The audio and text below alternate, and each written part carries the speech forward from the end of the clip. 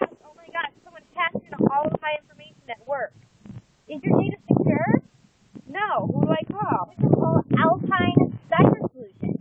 I use them and they have a holistic approach to secure all my company data. Call them and everything will be secure in one shot.